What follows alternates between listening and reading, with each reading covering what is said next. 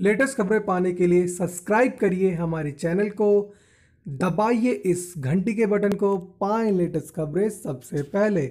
Monsoon फिर सक्रिय उत्तर पश्चिमी भारत में इसी हफ़्ते दस्तक देगा। आइए मंडी बीते दिनों हिंद महासागर में पैदा हुई कुछ प्रतिकूल परिस्थितियों से मानसून की रफ्तार में रुकावट पैदा हुई थी। फ़ाइल फ़ोटो पीटीआई मानसून एक बार फिर सक्रिय हो गया है। ऐसे में गर्मी और भारी उमस का सामना कर रहे उत्तर भारत को इस हफ़्ते बारिश से कुछ राहत मिल सकती है द टाइम्स ऑफ़ इंडिया के मुताबिक बीते हफ़्ते मध्य भारत को भिगोने के बाद अब यह उत्तर पश्चिमी हिस्से की तरफ़ बढ़ रहा है 29 जून तक इसके दिल्ली पहुँचने की संभावना है, साथ ही 26 और 27 जून को उत्तरी भारत के विभिन्न हिस्सों में मानसून से पहले गरज के साथ बौछारें पड़ सकती हैं। इस दौरान भारतीय मौसम विभाग आई के अतिरिक्त महानिदेशक किम महापात्रा ने कहा है कि बीते दिनों हिंद महासागर में पैदा हुई कुछ प्रतिकूल परिस्थितियों से करीब 11 दिनों तक मानसून में कुछ रुकावट हुई थी।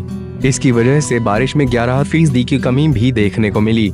लेकिन अब स्थितियाँ सामान्य हैं और मानसून अपनी दिशा में बढ़ रहा है। उन्होंने आगे कहा, हमें उम्मीद है, अगले कुछ दिनों के भीतर देश के विभिन्न हिस्सों में अच्छी बारिश देखने को मिलेगी। इस साल अंडमान, गोवा और केरल के तटीय इलाकों में मानसून ने अपने तय समय से पहले ही दस्तक दे दी थी।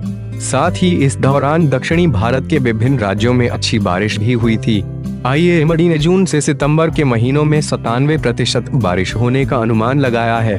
उधर, बीते हफ़्ते शनिवार और रविवार को महाराष्ट्र के मुंबई में भारी बारिश हुई, जिससे कई इलाकों में पानी जमा हो गया। इस वजह से लोकल ट्रेनों के परिचालन में भी बाधा आई, कई ट्रेनें देरी से चलीं।